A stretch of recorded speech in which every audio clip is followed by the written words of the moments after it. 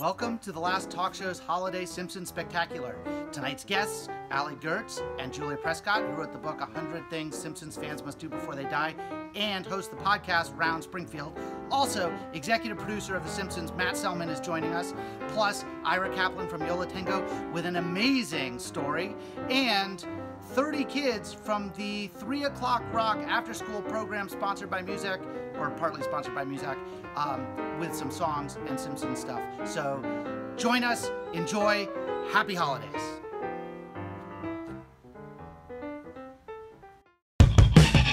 All the way from the island of Nantucket, Massachusetts, it's Last Talk Show! Talk Show!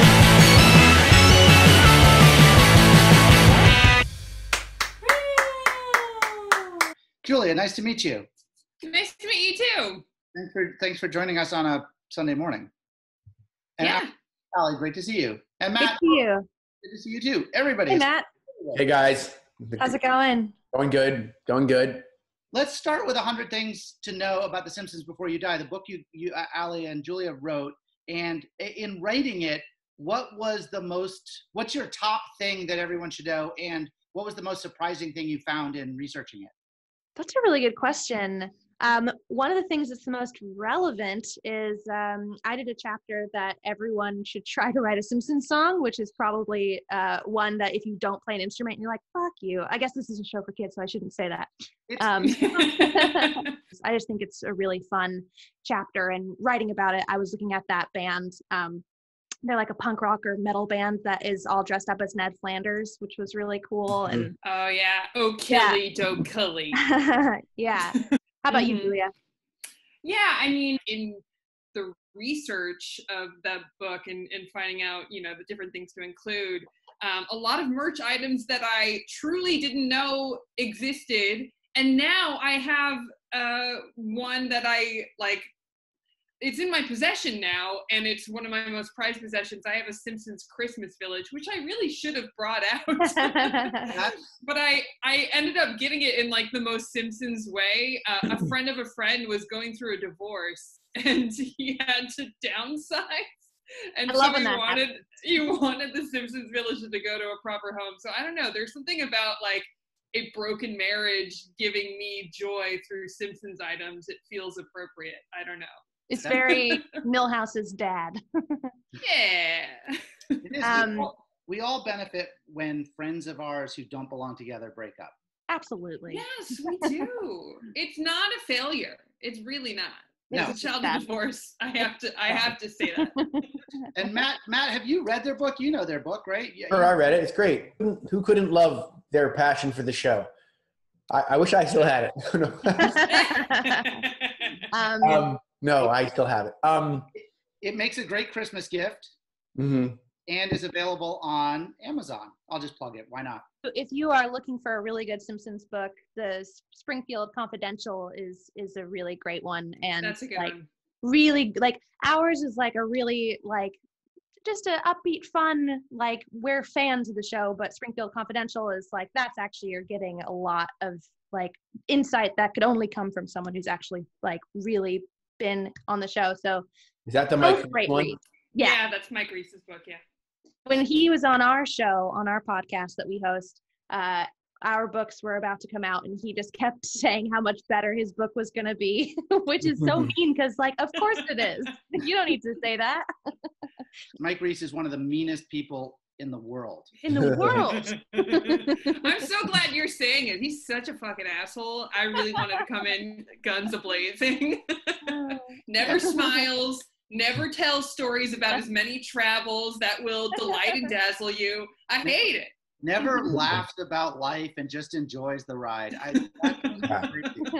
also, I just want to ask you guys about Round Springfield, your podcast. How many episodes have you done? well we started the podcast um, uh, in a different format and that's our kind of uh, that's the podcast that got us to where we're today and it was called uh, everything's coming up simpsons and that one julia that was years so i think we got to I don't know. We we at least did over 150. I think we did a lot. Oh lot. my God, more. did a lot I of- don't know. It 200 was like four years. somewhere between 100 and 6,000 episodes. But I have a podcast, a little bit of podcast Simpsons humor. Mm. Can I can I screen share in this, Donick, or is that Please. will that work? I don't know. Let's try it. Host- so there's a issue of Podcast Quarterly magazine, a very thick magazine. I guess I'll just read the jokes here. One is one is uh, ten hot tips to bring the conversation back to you. Great. Um, garage or basement, the debate continues. Um, thank you for your laughs and an oral history of how I got into comedy. Oral histories. it was really fun because we would have people on um, who were friends of ours, and then we would eventually get lucky enough to actually become uh, closer to some of the people who actually work on the show. Matt has been on the show. We went uh, to your house when you had a bad back, and that was very fun. Right, Donick knows all about that. Matt, do you want to share it really quick? I just I I've been working out a lot, and then I hubristically was in an article in the New York Times about like funny workouts, Beca- and then like a month later, I had a super herniated disc, and my wife had a horrible flu. So I, I called Donick, who lives two blocks away, lived two blocks away, and he took me to the weird urgent care and listened to me scream and try to pee and try to pee into a thing and I was honored that I was someone you felt like you could call because Matt's a very confident guy. He runs The Simpsons. He does very well in his career. He's what a wonderful family. He's got lots of great opinions on everything and never never shy about stuff. And suddenly was on the phone going like, I, I think I'm dying. I don't know what to do. I need you know, it was oh no. Can we circle back to what a funny workout is, Matt? what? Um, well it wasn't it was well, it wasn't a funny workout it was the hook was that kind of a fit guy works on a show writing for a out of shape guy oh, So, gotcha. so like that was the, the wall street journal like that was more than enough for them to think that was enough of a hook they're like oh right. He writes jokes about eating floor pie and you know american Yeah, yeah. fried chicken all day and but but in reality he loves to work out Yeah. I was I used to write clickbait. I know that it all it takes is like a song in the wind to carry you to uh, green light on one of those articles. uh, Allie, did you want to share a song or had a little snippet of a song you wanted to share before we go much further? yeah, I mean, I was just gonna um, have you maybe add it in after, since there's like a little video for it. Uh, Sure. But should we all pretend that we listened to it and and you could decide whether or not you liked it or not in your acting of it? Great. Let's do a let's do a setup. So so Allie, tell us what we're about to watch. So uh, this is a song that I wrote uh, uh, about Santa's Little Helper. I believe the title is as uh, creative as Santa's Little Helper, um, and it is kind of a little Christmas song, and it, and it is part of a um, a charity album that I did uh, uh, a few years ago. Um, basically, every single artist, uh, it's a compilation. Uh, wrote a song about a dog from uh, pop culture, and then all that money went to um, ASPCA and helped out the dogs who were being uh, displaced from uh, whatever the hurricane was at the time, which I can't remember, but hopefully they're all doing better. I'm so sorry. hurricane people, I'm sorry. I mean, in, in your defense, a lot has happened. A lot has happened. um so yeah so this this song um uh has a little bit of a christmas bent and it's a it's a much happier song than my song about milhouse and i didn't want to bum everybody out. So here we go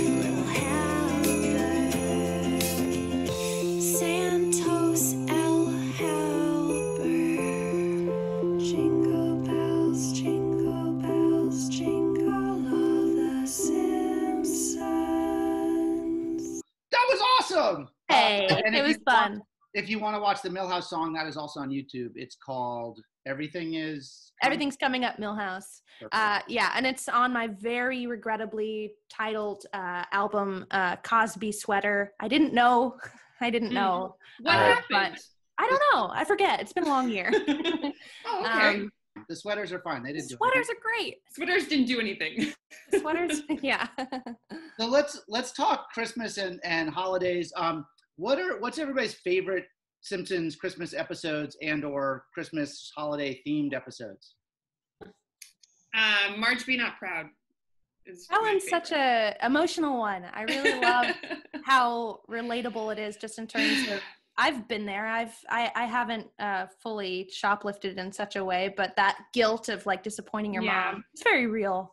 Um, Yeah, I always point to that one as like a really great example of because I know it's based off of Scully's um, childhood story, and you know it's it's such a great example of like using your own personal lived histories to you know like bring that heart element to uh, a TV story. So, and it's got jokes for days. it's it's so interesting that the show starts on a Christmas episode because it kind of just makes it feel like a Christmassy show. And um, I obviously love uh, a lot of the earlier ones, but I really also I really think the Holidays of Futures Past is like such a cool and classic uh, feeling episode. And I love when the Simpsons uh, go to the future and we get a snapshot of how it could look and it's a really it's it's kind of a tearjerker. It's it's really emotional to see kind of how the family interacts with each other and who Lisa's daughter ends up being, and um, it was really cool. I, I remember, and Matt, maybe you can chime in on this too, of just like Sure.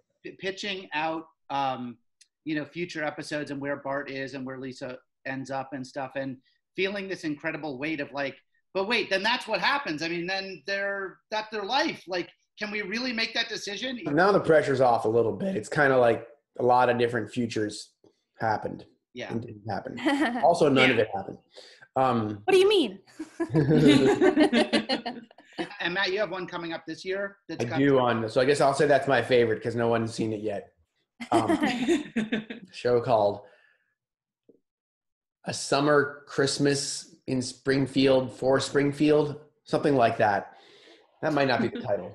What's I could the- find, I could find no out. one, no one cares about the title now. What's the, I know. What's the gist Um, of it? It, the premise is that a, a Hallmark type Christmas movie is shot in Springfield in the summer, and we and the plot kind of follows the plot of almost every Hallmark type Christmas movie of a big city person going to a small town and learning that small town values are the best and having a romance with a hardworking small town guy. So, and it's sort of it's very I love the word meta. It's very meta. So it's a it's the it's a Hallmark movie about the making of a Hallmark movie, but also in Springfield And and hmm, and Christmas. and Christmas. also, there's a B story that does not feel very Hallmarky, where Homer gets into the fake snowmaking business It's like, and is grinding up any anything. That's a very Donick type B story, I would say, where he will grind up anything white Yeah. To make great. fake snow. I would also throw in the mix Mr. Plow, um, just as a snow yeah, snow Oh yeah, of course. episode, one of the best. Um, yeah, Donick, in terms of snow based episodes, in terms of like the die-hard rules of Christmas, I would also put Mountain of Madness in there. Uh, just especially, it's very quarantiney. You know, Mr. Burns and Homer locked in the cabin together while it's snowing feels very holidays plus 2020. yeah. So that might be a fun, a fun rewatch. And, and Yeah. I, I kind of want to take credit for this, though I'm not 100% sure, but I think I pitched a background joke, and now I don't even remember the context, so there's a terrible way to take credit for it, but is the, the Christmas Ape movies that were on a poster Yeah. background in something in season nine or so. But oh maybe my I, Yeah. God, Christmas Ape goes to summer camp. that's, that's all the ape, all the ape jokes. I remember asking when Josh Weinstein was first on our show, we were like, "Why all the apes?" And he just went, "Apes are funny." It's as That's simple as that. All you need. Sometimes it's not alchemy. the first the first episode I wrote um, had Marge battling chimps in a zoo and and um, and and saving Reverend Lovejoy. And uh, Mhm. Worked with Josh Weinstein on that, and Josh was so funny because he really brought the apes to life in the room. It was like, and then the apes would do this, and uh, I love that. Okay, so let's talk about Simpson gift ideas just for fun. I was um I was thinking about one just to kick it off. If people have um, a couple things, one, uh, Kidrobot, Yeah. they just did so. some great- these great Mr. Sparkle plushie toys. Whoa. Whoa. Pretty excited about. And then um, the other thing I, I was thinking for gifts, so you can order those from Kidrobot, but also um, you can always make new Simpsons collectibles. This is one my son made a couple years ago. It's called um, Big Big Leg Smithers, is what we call it. It- it- Oh, I love that. Oh no. it's he's pretty he's pretty easy to assemble. It's just you find a pair of legs from somebody else. oh, no. That's gonna spark a new trend of putting on like sexy long legs to characters who don't typically have it. Yes, yes. I can see that on TikTok already. uh, in the in the vein of like kind of homemade gifts that are Simpsonsy, Etsy always has like so many Mhm. amazing gifts. Um, one of the ones that I got was this Kirk Van Houten uh, cassette of "Can I Borrow a Feeling?" That's good. And on that Etsy train, there's a lot of uh, there's a needlepoint craze, if you can believe it, on Etsy. and um, I feel like I just keep getting tagged on Instagram and like really beautiful, detailed needlepoints of like Homer, you know, as a warm, toasty cinnamon bun in his bed. I'm trying to find my Simpsons needlepoint that I ordered and I can't find it. Oh, what was it? How many people are saying that this morning? Yeah, well, it's of Moe putting his head in the oven and a sign on his back reading "No Funeral." I, that's one of my oh, favorite. that's nice. Everyone I loves love that. that. That's a great. That is one of Sonic, the. I love your Portlandia Bart Scampson. Oh yeah, Scampson. yeah. I wore that. I thought we're gonna get into a little bit later. Um, like unauthorized Simpsons, and this is like talk about meta. This is yeah. like from Portlandia, the episode where they rip off the Simpsons and Yes, Matt Groening. John Levenstein is the yeah. the Yeah, gonna- yeah. That combines my two loves because I used to be a ska kid in the 90s, Uh, early 2000s. So I was like all for it. Oh my I God. convinced Matt to do that. Matt didn't want to do it, and I was like, "You're insane. You have to do. You have to be on that." It's it. it, it made it so great. And I would say also, I was a ska kid, and it blew my mind when it was those two things were crashing. Really? And suddenly, the specials was on Portlandia, and uh, anyway, that was Yeah. amazing. Love So that. cool. Um, Cool. I love we share that. um, I had one other non-licensed item that I was given. This was this is a Oh unlicensed god. Homer bong that somebody uh, uh, actually Yo La Tengo got for me in in Australia when they were on tour. What? On that tour. That's awesome. That sentence is insane, Donick. yeah, yeah. They, they did um they did the theme music for an episode for us and then found that. So, Oh, okay. That's so cool. so, like, what the fuck? I know. Complicated. the story of the Simpsons bong is that uh, nobody actually remembers the story of the Simpsons bong. I've conferred with members of Yo La Tengo, members of the Yo- Yola Tango crew, and memories are hazy, which is somewhat understandable in that we can agree that it happened in the year 2000. So, you know, it's hard enough to remember earlier this year, let alone 20 years ago. On October 19th of that year, we had a day off in Sydney and we attend, attended a uh, Simpsons gift shop. It probably wasn't a Simpsons gift shop per se, but for us, it was. It was some 20th Century Fox, uh, theme park or something. But we were there just to buy Simpsons souvenirs, which we did by the bushel. And then the next day, we were playing a venue called the Metro in Sydney. And while just walking around the general area, we saw a Simpsons bong for sale, which I think, had we not been in the Simpsons souvenir buying groove, we might have just like passed up. But somehow it just seemed to call out to us. I have to say that presumably I, I, I haven't canvassed the entire entourage, but I think the purchase of the Homer Bong brought the total of bongs owned by Yo La Tengo and Yo La Tengo crew from zero to one. So, uh, and and we, and then it went back to zero very quickly as we passed it along to to Donick. So that's the best I got. Happy Thanksgiving, everyone. I, I was also going to just mention because I guess we're trying to uh, raise money too while we do this. But if you go to musack.org's website, musack.org, we're going to have a holiday pop up gift shop. And I'll put a couple of, of these on there that are signed. I'm sure Matt, there's some other Simpson stuff we'll put up there. I don't know what it is. I bug Matt a lot for that, but we'll find something. Um, but we also have a lot of great other things like um, members of the Cure signed some records for us. Whoa. Cool. Tim Armstrong si- signed a record. We got some Beatles he signed. We got like the gang from Devo signed a record for us. Whoa. Um, this is cool. This is Malcolm McDowell signed a. I want that. Mm, and, uh, Cool. Courtney Love here. We got a Courtney Love signed uh, whole album. Um, Damn.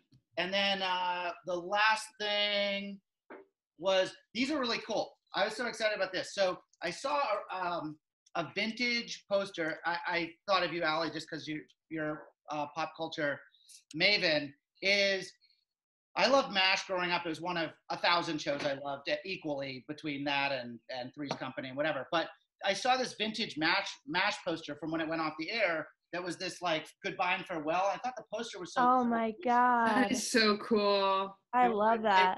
Originally, I just love that graphic design. And um, yeah, my my buddy Mike Kroll, who also does the music for the last talk show, um, I love Mike Kroll. he he printed some of these for us and remade it and changed the colors a little bit. And then here you can see Alan Alda signed a bunch of them for us. So we Oh have, my god, that's amazing. Whoa. we have a few of these one of a kind. I guess there's multiple, but not a ton. Anyway, those will be on the website uh, plus other stuff and a great way to support the program and get great Christmas gifts. Let's move on to just quickly some family, any great Christmas traditions that you guys have in your families or that you do that you would like to share. Well, in my family growing up, we definitely were very like December 1st uh, is the first day that you're allowed to even mention Christmas. Like we are religiously, it's not the day after Thanksgiving, and you can only watch Christmas movies during this time. And my dad, like, we would watch a Christmas movie every single day and uh, of the month. And uh, he had told me like you can't watch it with anybody else, but he meant it more in like a fun way. Um, but when my school in elementary school, I was in like third grade, was like, we're gonna play um, uh, Rudolph for the class, I had to like in tears, like tell my teacher, like my dad says I'm not allowed to watch Christmas movies, and so they uh, put me in a room with a few Jewish kids, and we all watched Reading Rainbow instead. And my mom like came to the party that the class was throwing with cookies, and was just like, "Where's my daughter?" And she's like, "Well, you know, since she's Jewish, we put her in the other room." She's like, "That's so wrong on so many levels." When I was a kid, I used to be in uh, a children's Christian choir. I don't talk about this because it's, I think, a repressed memory. We actually recorded an album. Um, And, that, and it came out, and the only person I knew to listen to it was my late grandma.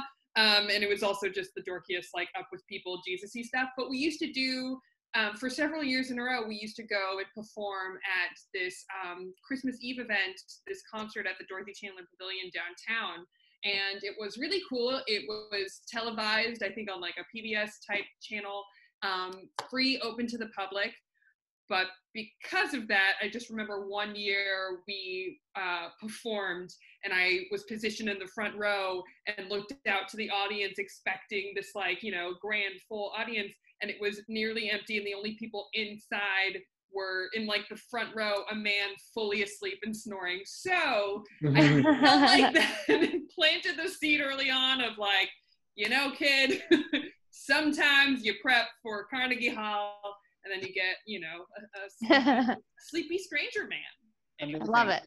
I think I think I was in a Christian choir, uh, and we recorded an album. Is the uh, sentence you hear a lot at the beginning of therapy sessions? Usually, yeah um, Matt, anything you want to share about your holiday traditions? Um, you know, it was always like my mom was a big Christmas nut, so we always went in all in. And then when we got older, you know, it was maybe a little harder for my brother and I to sustain the same level of. We were like in college; it was hard to sustain that, as maybe many people go through. We just, but then one magical Christmas, my brother and I decided to make an omelet made of two leftover omelets.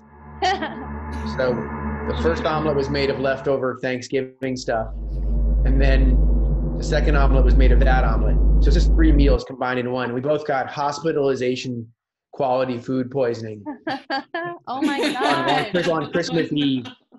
And so we're in like emergency, both in emergency rooms next, we're very near each other, being rehydrated as we heard Christmas Eve screams and from whatever other horrible Christmas Eves people were having in that emergency room.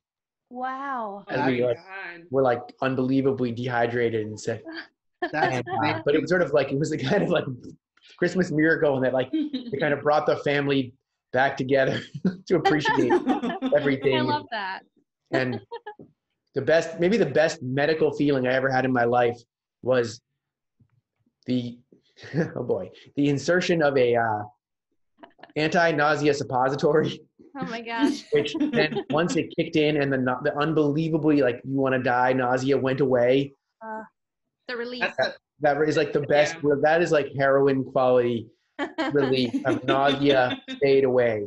And that has become a Christmas tradition for you. Right. So now I kind of I, I Munchausen myself every Christmas Eve to try to make myself sick, or I I uh, Phantom Thread. I phantom get it. thread exactly. I phantom thread it so that when I heal, I feel reborn and Yeah. alive again. And That's hard to top. I I my the only thing I thought of quickly was just for when I was a kid, we would always read Dylan Thomas's A Christmas in Wales, and Mhm. that was a fond memory I had of growing up with my parents. And so I've tried to instill that tradition with my kids, and they will not have it. And I, I so the tradition now is I sit down and start to read it, and then they leave the room, and I just read it to myself. And that's that's our Christmas tradition. Let's just share some holiday recipes because we I threw that out there. I'll get it started with um one thing we have cer- we have something called Big Kim's cras- casserole, which is my father-in-law makes a casserole out of white bread every every uh, morning. We'll put the recipe up here. Enjoy. That's uh Yum. stuff. Um, and the You're other such a YouTuber with that point. Um, the other one I was gonna throw out. My mom used to make uh, a uh, bush noel or a, a Yule log, just a log, and that felt like something that you could easily Simpsonify, put Lisa's head on the front, and do the Lisa log if you want. Oh. I love that. yeah. uh, Julia actually made a um, a really great list of some uh, Simpsons-y uh, recipes. I don't know if you wanted to share any of them, and we could throw up the oh, image of it. Some of these are real silly, but you know, you gotta have laugh. your your cranberry sauce a la Bart, which is just the can congealed together. right. Cool. Well, Um, cranberry and- sauce. If I can interrupt for a sec, cranberry oh, sauce yeah. has a symbolic meaning um, in the Simpsons writers' room. Is that whenever you're whenever you're pitching on something where the level of work required is that of kind of guessing a family feud answer, like what foods that should be on the what's on the Thanksgiving table. You know, thank Yeah. actually it's, it all came back to John Levenstein, who one time I ran, I ran into a party and he was in a rage because the terrible sitcom he was writing on was full of unfunny writers who never pitched until it came time to describe the pointless things that were on the prop table of the Thanksgiving, and then everyone started like Ike, you don't need any writing ability able to say stuffing, cranberry. so the word cranberry is shorthand for like whenever this is a kind of pointless, no skill required thing to pitch on.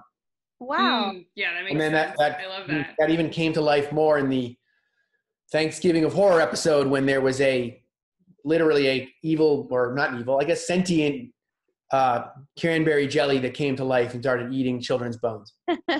That's amazing. And then, sorry, I'm sorry. Then also for that episode, I emailed John Levenstein. I said, "You have to describe all the things that are on the Thanksgiving table for this episode." So I forced him to do the thing he, he, he that gave birth to this weird meme or whatever you want to call it. Okay, sorry. I bet, he, I bet he loved that. I was just thinking back. I, I worked with John on one show, and I believe that I pitched corn.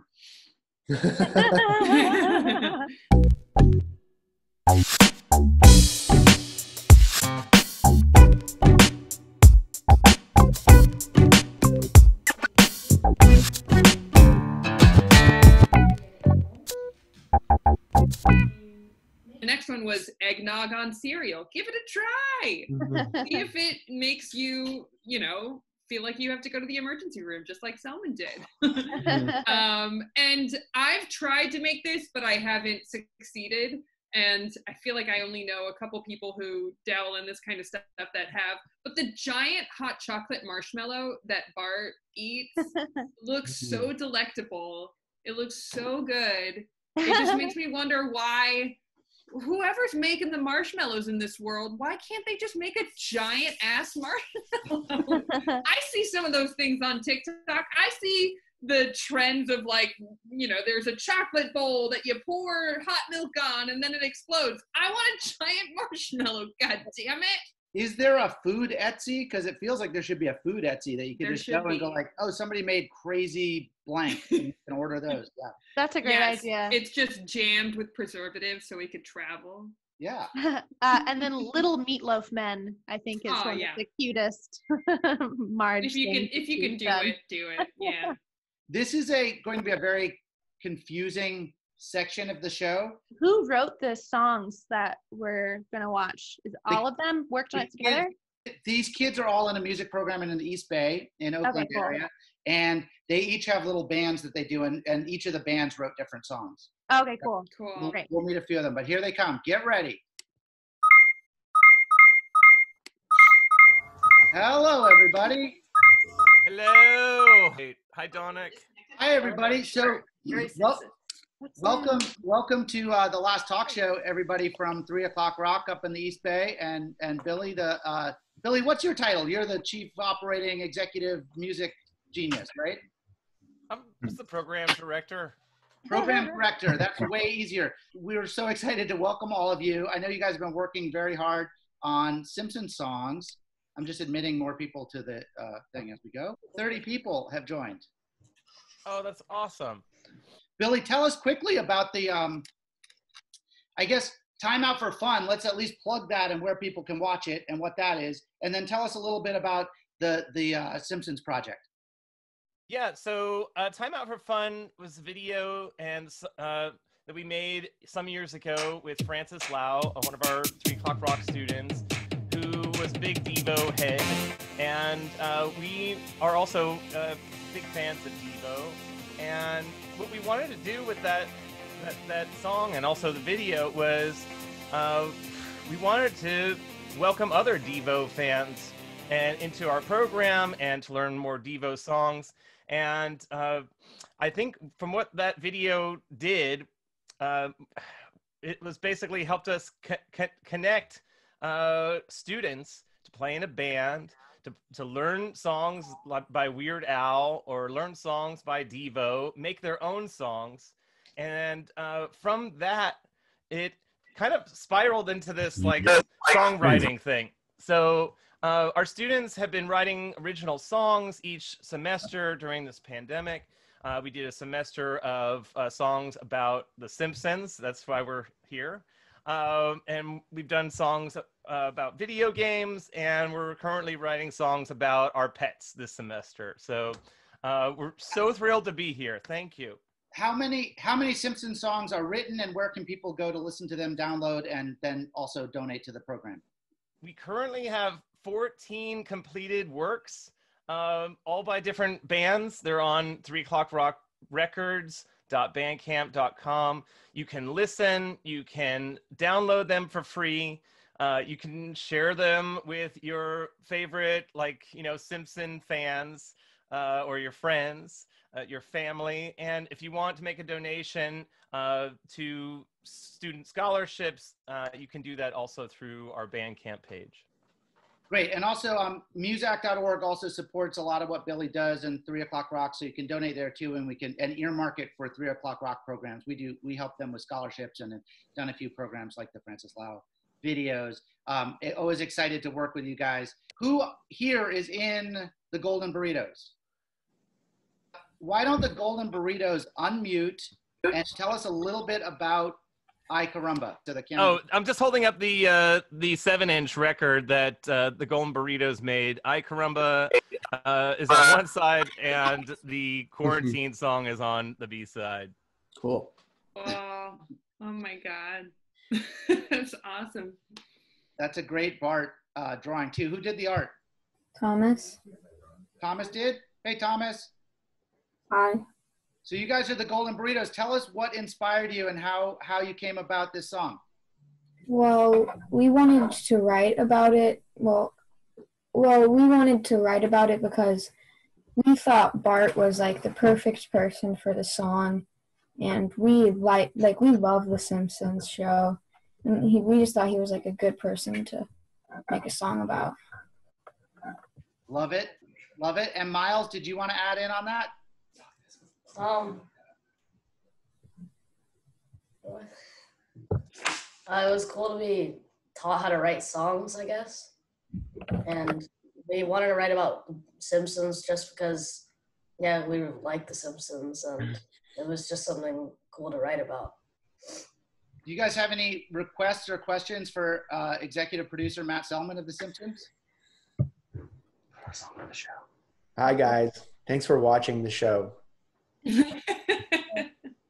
How do you write so many episodes? Like, how do you come up with all the ideas?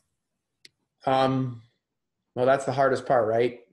But you just you kind of think the trick is to forget the 700 episodes you've already done. Don't think about those. Pretend they never existed, and like you're starting over the beginning of every show with like a brand new family that's never had 700 amazing adventures and a movie and 15 video games. And uh, you just try to think like what's a a funny thing from real life a sad thing from real life something that makes you angry something that makes you happy something that happened to you something that something happened to one of your friends something that's happening now in real life and you just try to hope that that's like and then you and then, and then once you find something you like then you go back and hope you haven't already done it too many times and then if you've only done it once or twice yeah okay it's all right Who who here on this call has an idea for a Simpsons episode? Anybody?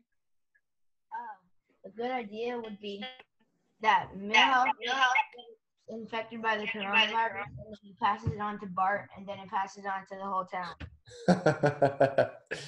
yeah that has come up um, That's a good idea, though. That's good because you're right. You're you're observing what's happening in the real world, so that's really important. As for like anyone writing songs, writing stories, writing anything, observing the world around you is very important. And you know, we kind of, if you're interested, we kind of made the choice in the show.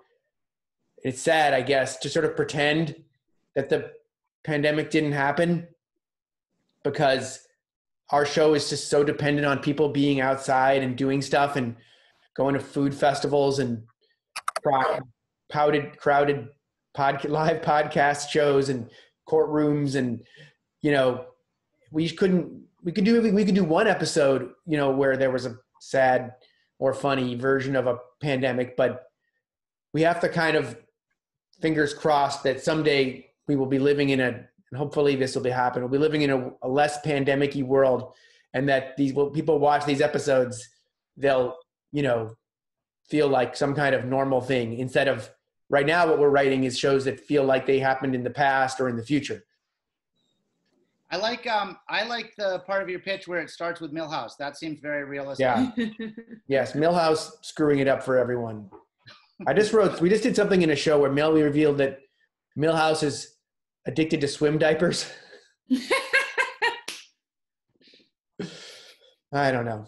You guys know swim diapers, right? You- You're, you know, you're you go in the public pool. You're a little kid. You just wear a swim diaper, and there's a little bit of safety there. It's comforting. So let's let's take a Not look regular at- diapers, swim diapers. yeah, we got it. and you guys made, you made a um you made a music video for Ay Caramba. So let's watch that now. Let's all so here's what we're gonna do. Everybody pretend you're watching it for a minute. Ready? Let's pretend we're watching go.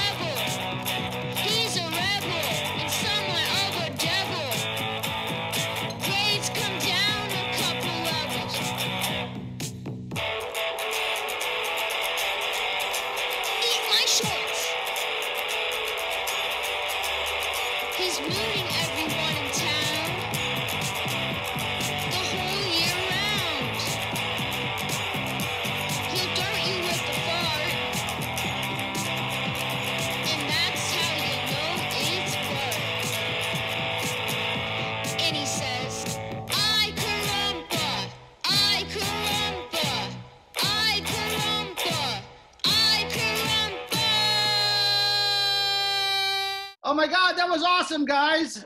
That's so Yeah. It's so good. Is it fun to see it on the uh, big screen like that? It's Amazing. I want to, we want to talk about the the uh, another song you guys did. This one is um by e- the Egos of Justice. What does it mean to be in the Egos of Justice? And what was it like? And why did you make this song, which is hashtag Homer, hashtag Hash Brown? it was one of the songs where um like we put like silly just like funny lyrics Yeah. and put and then put like homer stuff in it too and then just like mixed it up and we got a very weird song We kind of just wrote down whatever came into our heads, and it turned out pretty well, I think.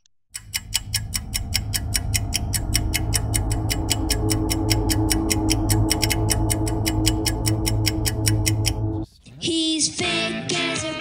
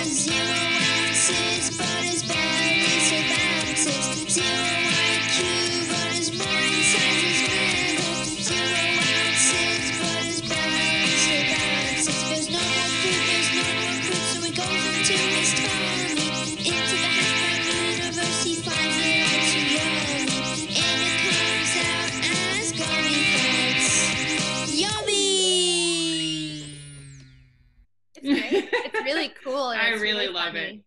Yeah. I love it. And, and let's talk about the video a little bit. It's an amazing video. Who made the? How did you make the video, and who made it? Um, I made it and I animated it with Scratch, which is a coding website. Cool. Do you want to code uh, more in your future? I'm not really a coder, I'm more of an animator and Scratch it's made it's a coding website but you can make animations on it. How long did it take you to make that? Um like about a day. Wow, that's amazing. How long does it take to make a Simpsons episode? Oh, longer than a day. Um, usually takes between like nine months and a year, mm-hmm. but wow. it's there's a lot of steps along the way. Mm-hmm. So maybe, maybe you guys should switch to Scratch. Yeah, Scratch sounds better for you guys. I mean, Disney would like that. Yeah. We have Um, one kid, we have one kid doing it in his room. They would be much happier, or or her room. I just thought the songs were so cool. Um, I I write Simpsons songs too, but my songs are um, kind of on the sadder, like folk side of music, and I really liked how upbeat and kind of punk rock these were, and it just had a really um, raw sounding uh, feel to it. I just thought it was awesome. I just want to say that Mhm. please keep writing music forever because I I'm a new fan. So right on, it was Yeah. really cool. Thank you. Yeah, I, you. s- I second that. I really loved, I mean, I loved all of them, but I loved Homer Hash Brown and I loved the explanation that it was just a bunch of like silly random things that you guys came up with and you, you know, mixed it all around.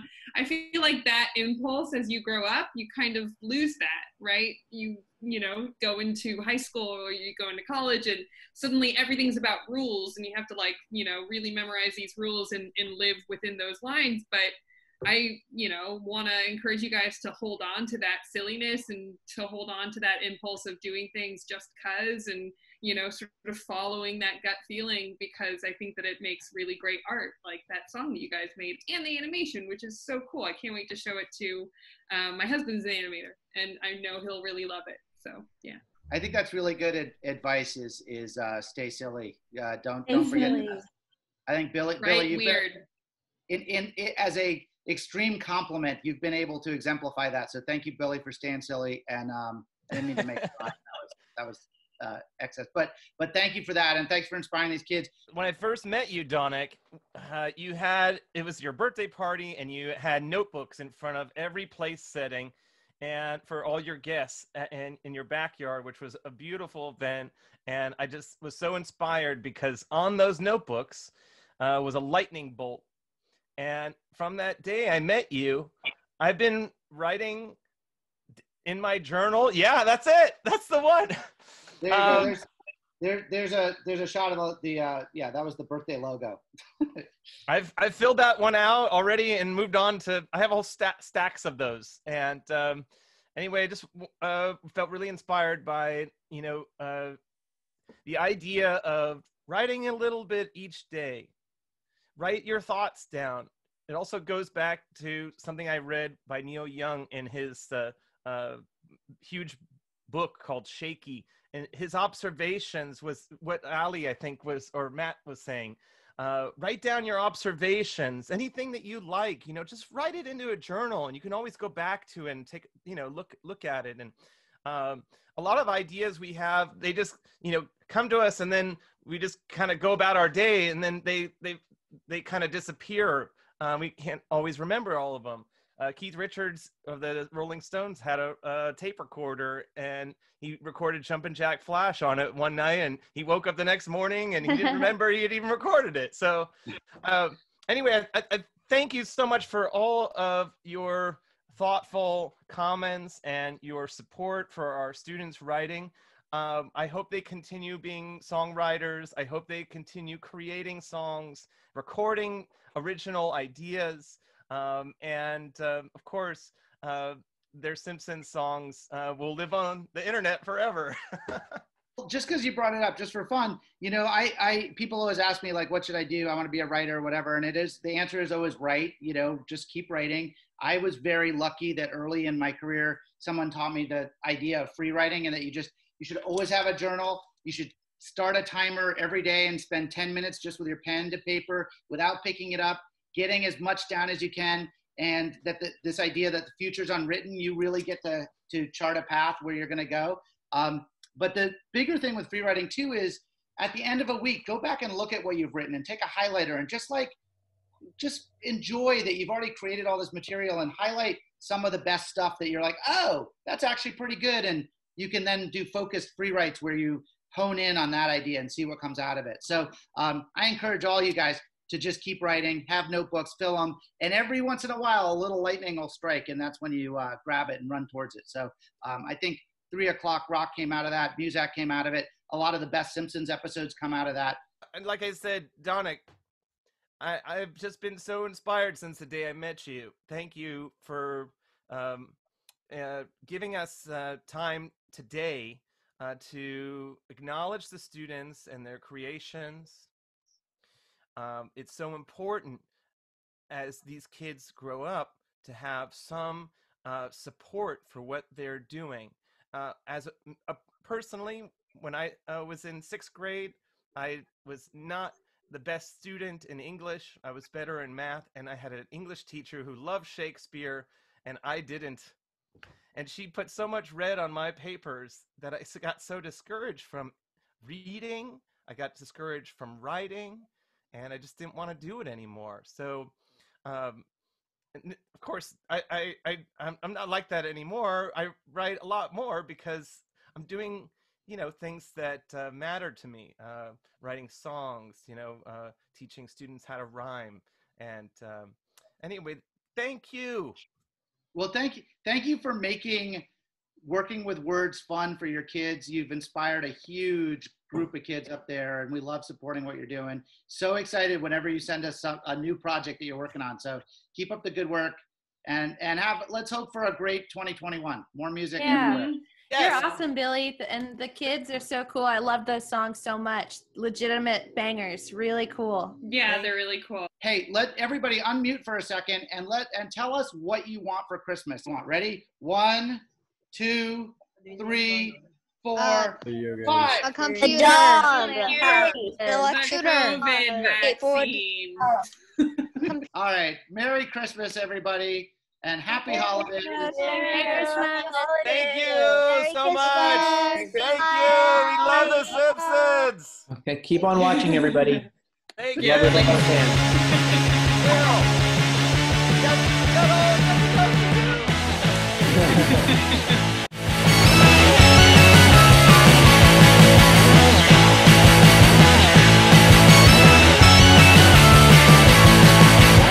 Come on, guys, help the kids out. Just go to musack.org.